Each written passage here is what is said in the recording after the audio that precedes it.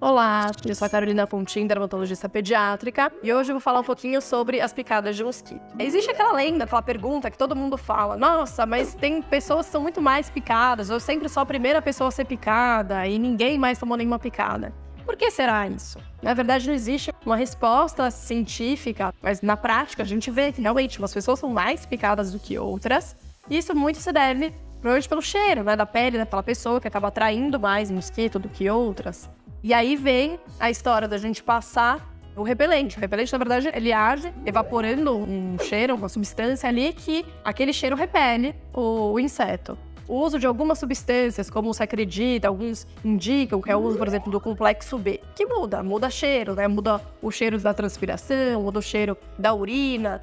Então, muito provavelmente, mudar o cheiro acaba repelindo um pouco mais os mosquitos, mas algumas pessoas funcionam, outras não.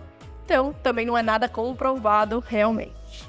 A gente tem outros vídeos como esse aqui no canal. Acompanhe a série Dicas de Especialistas Verão. Curta, compartilhe e se inscreva no canal Saúde da Infância.